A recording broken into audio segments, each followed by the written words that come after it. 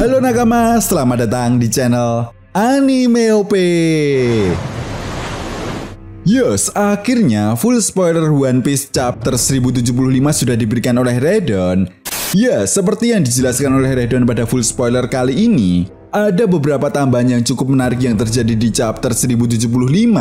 Salah satunya adalah Akhirnya, sang pengkhianat di kubu Dr. Vegapunk mulai melancarkan aksinya kembali. Ya, perlahan tapi pasti, pengkhianat tersebut bukan hanya mengincar keberadaan Dr. Vegapunk, namun juga mengincar segala akses dan sistem keamanan yang ada di Pulau Egghead.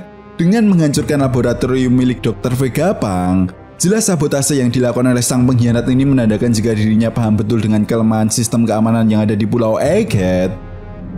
Lalu sampai di sini yang menjadi sebuah pertanyaan besarnya adalah siapakah sosok pengkhianat ini?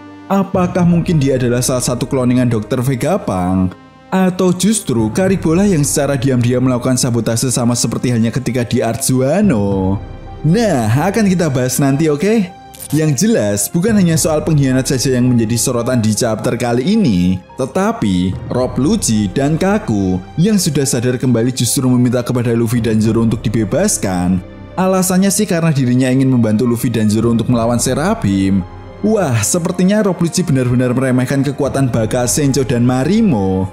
Jelas permintaan kocak Rob Lucci ini kemungkinan besar hanyalah sebuah siasat untuk meloloskan diri.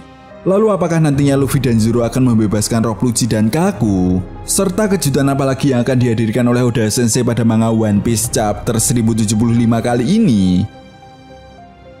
Well, tentunya ini sangat menarik untuk kita bahas bersama.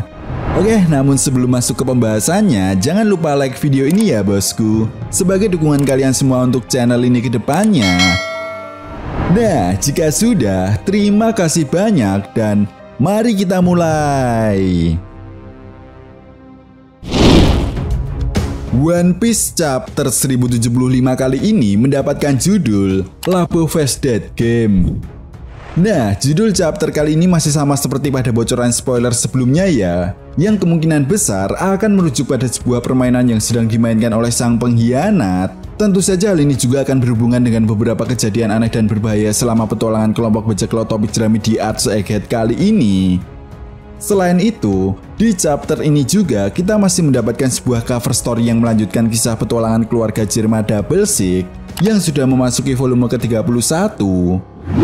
Nah, di cover story kali ini kita akan melihat pertemuan pertama Dr. Vegapunk dengan para Gorosei di mana hal ini yang pernah disinggung sebelumnya oleh Gorosei Saturnus ketika ditanya oleh Admiral Kizaru dan tidak menutup kemungkinan juga inilah awal mula bagaimana Dr. Vegapunk bekerja sama dengan pihak pemerintah dunia karena seperti yang kita tahu pada manga One Piece chapter 1066 Dr. Vegapunk pernah menolak keras ajakan Monkey the Dragon untuk bergabung dengan organisasi Revolutionary Army Menurut Dr. Vegapunk, satu-satunya pihak yang bisa membantunya mengembangkan dan mensupport segala penelitiannya adalah pihak pemerintah dunia.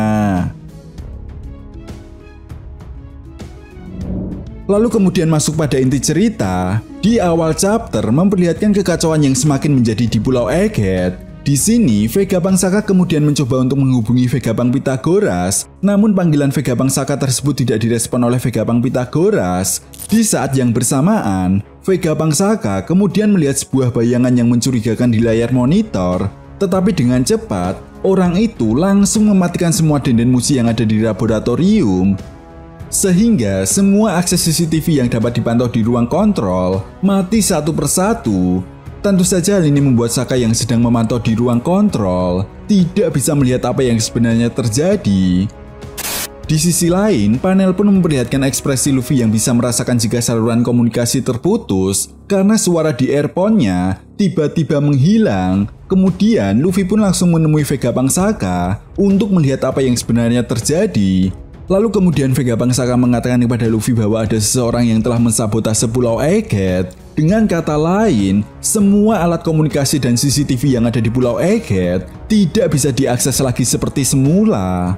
Dan tentu saja, hal ini pun seolah mengingatkan kita dengan pola yang sama ketika di Arzuano, di mana Karibo pernah melakukan sabotase dengan cara seperti ini. Lalu apakah mungkin sebenarnya Karibo lah pelakunya? Coba tulis pendapat kalian di kolom komentar ya bosku. Sin pun kemudian berganti dan memperlihatkan beberapa kelompok yang akan mencari keberadaan Dr. Vegapunk dan Jewelry Bunny. Nah, ternyata di sini kelompok tersebut dibagi menjadi empat grup. Grup pertama diisi oleh Nami, Brook, dan Vegapunk Edison. Di saat melakukan pencarian, Nami tiba-tiba menemukan sebuah harta karun berlian Lalu grup kedua diisi oleh Nico Robin, Chopper, dan Vegapunk Atlas. Di sini mereka menemukan organ tubuh manusia. Robin pun kemudian dengan sangat santai mengatakan, sepertinya itu tubuh Dr. Vegapunk. Setelah itu grup ketiga diisi oleh Sanji, Jimbe, dan Stasi. Mereka berjalan di area pembuatan senjata. Di sini kita akan diperlihatkan Sanji yang bertingkah kocak di hadapan Stasi. Lalu grup yang terakhir diisi oleh Usopp, Frankie, Lilith, dan Vega Pangyok. Nah, di saat mereka melakukan pencarian, tiba-tiba mereka melihat tubuh Vega Pang Pitagoras. Ternyata Vega Pang Pitagoras berhasil selamat dari ledakan karena berhasil melompat dari tubuhnya tepat waktu. Di saat yang bersamaan, Vega Pangyok secara tidak sengaja bertemu dengan Serapim Hancock. Vega Pang Pitagoras pun kemudian berteriak kepada Vega Pangyok untuk jangan mendekat, tetapi semuanya sudah terlambat. Serapim Hancock berhasil mengubah Vega Pangyok menjadi batu. Serapim Hancock juga diperlihatkan menyerang anggota yang lainnya.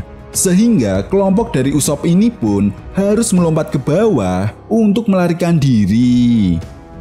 Nah, tentu saja ini sangat menarik ya bosku. Karena seperti yang kita tahu, Vega Pangyok adalah satelit untuk mensuplai semua energi dan makanan ke Vega Pang yang lainnya. Jadi bisa dibayangkan bukan, apa yang terjadi jika Vega Pangyok ini tetap dibiarkan menjadi batu begitu saja.